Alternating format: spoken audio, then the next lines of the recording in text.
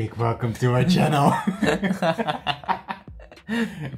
okay, so we are back with uh, one more video with Sparkles. yes. So we are doing another Bermuda Triangle Standard okay, so we already did Riviera.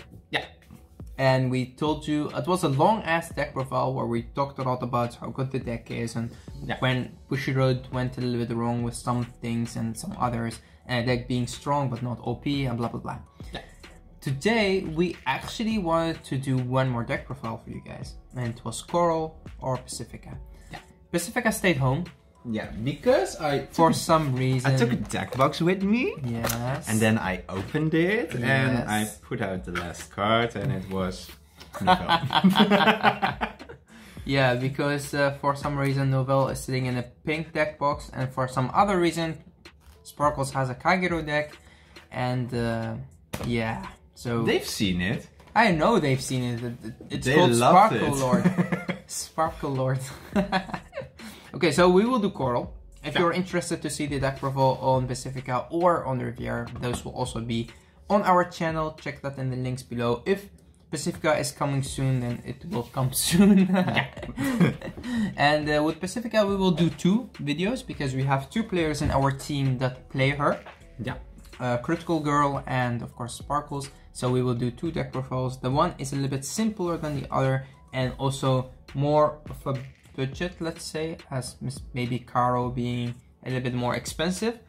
And uh, the other being with uh, more SVRs and stuff, yeah, because it sparkles. And we're gonna max out this shit. Okay, so- oh yeah. Okay, let's go into Coral. Starter. Darkness. And we will also do premium. But for premium, actually, we were waiting to see the ban list. Yeah. Because there is a big chance that Riviera could be on the ban list for premium. Yeah. Not for standard, but for premium. Uh, for me, they don't really have to be in there. Let's just get rid of gold a little bit. Please. I- If you're a gold fan, I'm a little bit sorry, but being a deck that tops like in the top eight, sitting like six times in the top eight is just a little bit too much. So they That's need to, OP.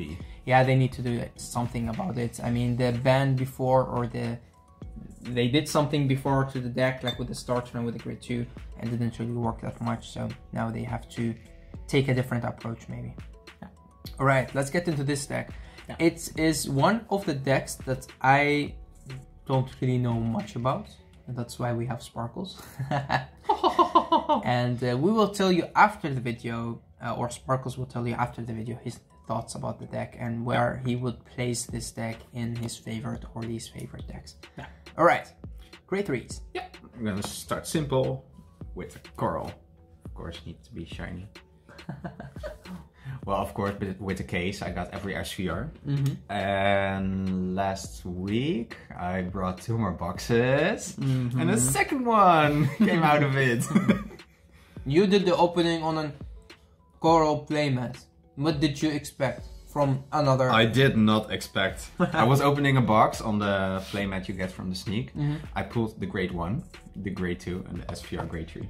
I was like, oh damn, that happened. It's a Coral box. That was my first thought. it was a coral box. Well, it's just quite simple. Um, I especially uh, find the first skill very interesting. If you have Soul Blast 4 uh, cards of total in the turn, all units with coral get crit plus 2. Yeah, plus 2, it, the crit becomes 2. So Force 2 is not optional in this deck. No, you're actually combining Force 1 and Force 2 just by playing her first ability. Yeah. And the thing she does best is just power creep. Power, power, power creep. Mhm. Also in premium and stuff, uh, with G era stuff, always gets plus so many for every coral in the soul. Mm-hmm.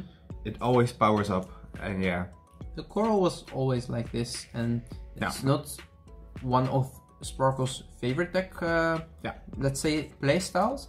But it's really nice to have her in there because it's refreshing to switch between the one deck and the other. yeah. Uh, although we have a lot of question marks of the abilities and like the art and yeah, we were just discussing that. Especially the great one. yep.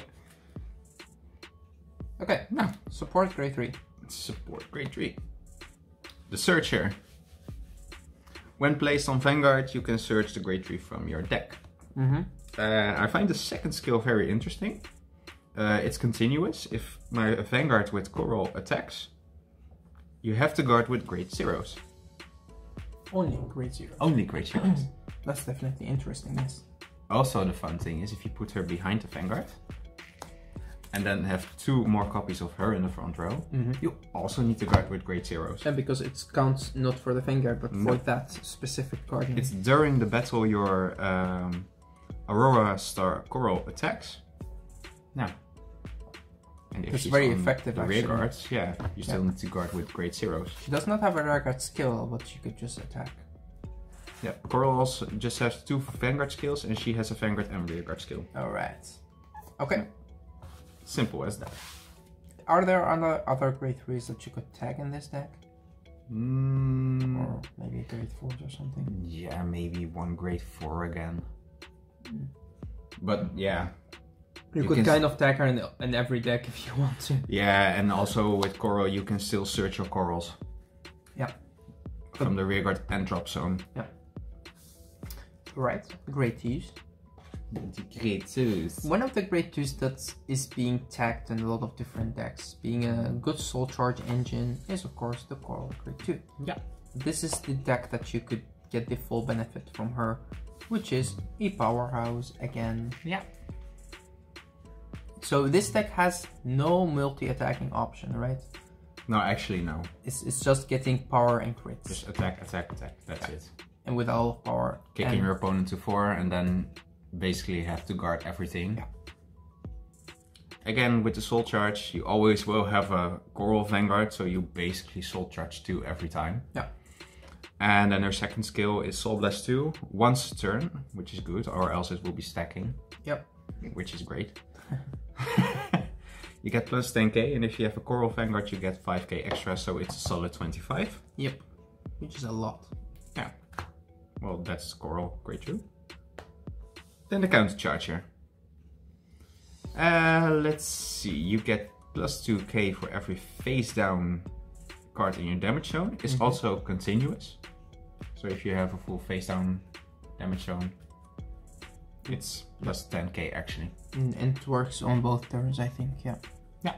So that's also important. And if she hits a Vanguard, you can Soul Blast uh, as many cards if you want. And for every two Soul, uh, soul Blasted cards you Soul Blast, you can counter charge one. Definitely very interesting card. Yeah. Right. Next. Then, of course, simple as that. Garo. I'm not gonna explain, explain it again. No. Soul Blast 2, copy paste. Yo. You're like, yay, I'm the Vanguard! you place me! Oh, another one! and she's good for the Soul Blast. Yeah. Because you need the Soul Blast in this deck. she kind of made for this deck. Just just because you soul charge that much and you want the soul blast two two two two two until you get to four and then boom, skills goes off. Yeah. It's actually all uh, also the thing that was in Riviere. You can still change up the yeah. You can still change the lineup, Mhm. like putting more in of her or one of her extra in, because of the last grade two. Actually, never never use her. Uh, it's also the same that you have to uh, let's see have to call two or more cards from hand for a counter blast, and you Ah. need to have a Vanguard with Coral. And that works for your for her or for the Vanguard. Uh, let's see. I don't know that card that much. don't play this deck too much. Uh, let's see. When your opponent would call. Uh, no, it's the whole turn. Oh dang. Read? Okay, let's read it together. When placed, if you have a Vanguard with Coral in its card name, counterblast 1 until the end of turn when your opponent would call cards from their hand, she or he must call two at the same Just time. the line after the counter blast. Yeah. Until the end of the turn. So definitely a very important card to have in deck. But one of the things I like a lot about this card is the art. Uh, this yeah, is one. cute. yeah, but this is one of the few cards in this set that has like that different coloring on it. uh, because the theme was kind of blue, snow, and that sort of stuff. And this was like, It fits. yeah, it's, it's nice. It makes me think about uh, the movie from Disney, Mulan, if you know it. Yeah. Okay, Those were the grade twos. now we have the uh, strange grade one. Oh shut up. It is a great. It's it's really creepy. Well, the grade one. It's just weird. That's why I don't love it. It's just weird. Wait, the art. Uh, the art is so weird. I did see this card being tagged in different decks. Yeah, in Pacifica, Yeah, even there. but it's actually just for the soul charge. Yeah, it's the same if they don't have like the space in the grade 2 lineup, they put her in as for the grade 1. Um, most of these squirrel cards just have the ability to give you the extra soul for your uh, soul blasting abilities. Yeah. And I think this could also be very interesting in premium because coral in premium could also be very effective. Yeah. And uh, especially if they hit uh, Riviere, then I think maybe people would try to build more coral than Riviere. Yeah. Because Riviere now is the stronger in standard and actually in premium. Yeah, but based on just the power creep. Yeah. That's the only thing actually. That makes her better, you mean? Or Yeah, for power wise. yeah, It's just that's the but, only I- thing. but also Coral has better strides, right, than Riviere. Yeah, Riviera has one stride. Yeah. Just one. Yeah. Which is good. Coral was always good in the G era, Yeah. so now it has a little bit more support. I do think that they could remake this deck to be even stronger. Yeah. But people being less uh, creative uh, now with decks because when they see a deck top, they try to play that deck, and if that deck works for them, then they keep it that way. No. I still think that people need to be more creative with their decks. Yeah, and just keep their own personal touches Yeah, on the decks. at least change some cards in there. Yeah. Okay, let's continue with the great one lineup. Yes. Just very simple. Aurora. Yep. Still very good, very effective. Draw and ditch. Gets you the right combo pieces to your hand. If Yeah. you have space in your grade one lineup, always put her in. And the thing is, you need to discard a card for her, which is actually not bad in this deck. Because you can get your corals back. Yeah, It's the same with the Pacifica actually. Yeah. With the, with the grade two, uh, I'm gonna I'm, I'm gonna drop one card from my hand, Yeah. then draw, then get that card back to my hand, and people and then your opponent will be like, uh, what? Wait, what just happened? Yeah. And then the last grade win Yeah. is Also power creep. Counter Yep. blast, put in the soul, and give one coral plus 15k. Yep. Extra soul charge. Yes. Also, a nice art though. Yeah. Yeah. Well, that's the great one liner. Then we go to Crazy Rose. We didn't see any drop, uh, any PGs, so Nope. there will be drop PGs. Yeah. The coral starter. Mm-hmm. Right. There is no right reason to have her in there, right? You don't need her like a Riviere. Uh, or does the Great One need Yeah, her? let me check. Uh, no, it, it has to be for the grade one. Ah, okay. When placed, if you have a soul, uh, if your soul has a card with coral, Okay. yeah, you basically want to ride her, of Yeah. course. Okay. Then only Pacifica does not have a starter. Yeah. You can Okay. choose whatever starter you like. Yep. But if, for example, you play the grade one uh, unit, uh, the grade one coral in your Pacifica deck, you, then you have to. Yeah, then her. you you need to add her in there. Yeah. I mean, you could even. No, you you would not do that. I was trying to say you could even run the Riviere, um, let's say grade one and grade twos in Pacifica, but no, I would not do that. I would actually try that. that. could work. I Okay. would not totally not be surprised by that actually. So we could kind of call this uh, standard, I think. Like for the four heals, uh, four draw, and then the eight crits. Yeah.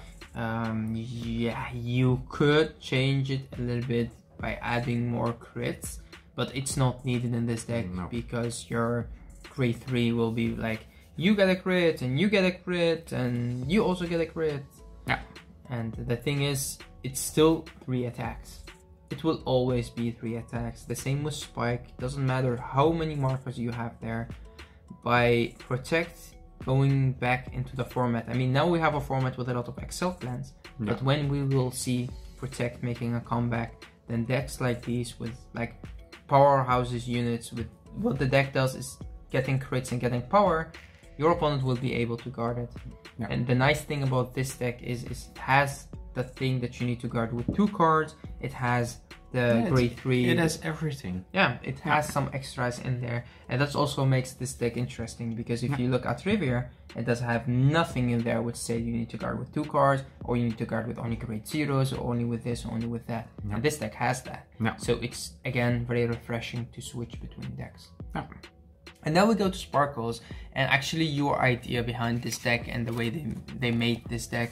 And what do you think about this? Because you're having three different decks in, Yeah. in in this booster box for Bermuda, and now you could actually create multiple melody decks, but we'll not talk about that. We'll talk about melody as being one deck, and we talk about Highlander as being one deck. Yeah. But where do you place Coral? Uh, far, far down the list. Yeah. Yeah, it's um, I, it's not my playstyle. Okay. Yeah. It's, it, it's good. It's strong. Yeah. But do I want to play? does it it feel less? Bermuda? Yeah. Yeah, that's that's the thing because Yeah. when we saw the abilities, Sparkles and me were talking about how good this deck is, and then also talked about where does this deck fit into the Bermuda theme. And Yeah. when we have like decks like Melody, which also could create huge power lines, Yeah. um, and then like they work kind of together.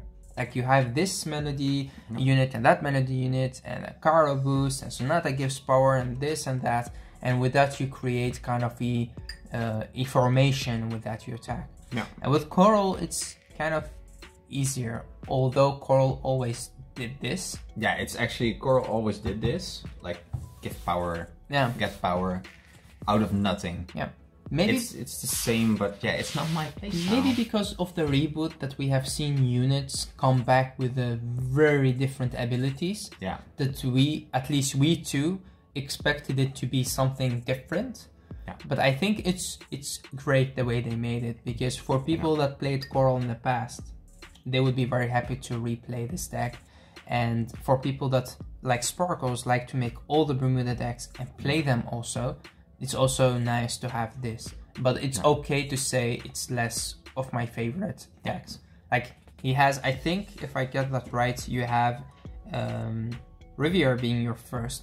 Yeah. we're talking standard, Yeah. and then on Riviera the is definitely Yeah. first. and then we have second place, which is kind of Melody and Pacifica. Yeah, that's true. And Pacifica is a very, very, very nice deck and also very strong. It's but don't play so it too much. Fun. Yeah, but don't play It's- it too much. Yeah. Because if you could say a deck is kind of brain dead, It's that. it's that deck. Yeah. But it's okay because it's the way the deck is built. Like Yeah. people like it that way. Like having them on the field, okay, you, you, you get rid of them, they end up in the damage, I get them back. Doesn't matter. Yeah. And with that you continue on playing. Like playing against uh, Angel Feathers, you keep that grade 2 in your hand. You don't use it that often because they could place Pacifica on your damage zone, then you get it back. Playing against decks that could retire it, you keep that grade 2. So you could be like a little bit smart about the way you play it. But uh, again, it is kind of brain dead Yeah. a little bit. And then we have um, um, so Melody and Pacifica. I think being And both we- on the, On the second place. yeah. Yeah. Although I think that Melody will climb up to second place. and Coral- Yeah, when I updated it and Yeah. put in the new stuff and things like that. And then we have uh, the third place, which could be Coral, and then Nah, Highlander. Highlander, and then Coral. And then the, Coral, and then Coral at the bottom. Yeah. And the, they're both bo- both decks that you would not pick up that fast. I yeah, for it's fun to have. Yeah. It's I, I'm happy to have those decks, Yeah. but it's not my favorite. Yeah. But again, for people who played Coral in the past and they're just getting in into the format, or they now started to play Standard again, or Yeah. started before, um, get definitely try to get this deck. I think it's not that expensive. No, it's not. No. No, so the most expensive is Riviera actually. yeah, and I think that only the the yeah the grade three could be of course still expensive, but um, the grade one is not. The grade two, although it is getting tagged in multiple decks, it's still Yeah. not. And um, yeah, you definitely add Caro as well, No. which if you play the normal version should not be that expensive. so so definitely try to get this deck, replay it because it will just give you that nice memory that you had from the past because it still does the same thing, but no, No. better. Yeah. with adding the crits and the and the power. Actually better, yeah. That's kind of it for this deck profile. We'd like to thank you guys for watching and also let us know what you want to see next. Because we have updated Highlander, we have Yeah. Melody, which still needs a lot of work because you could create a lot of different Yeah, decks. Way too much. Oh you even have God. the promo grade ones and stuff like also have Melody. So yeah. you could even make a theme deck, like you can make a Sonata deck or a Caro deck or this or that. There's so much you could do Yeah.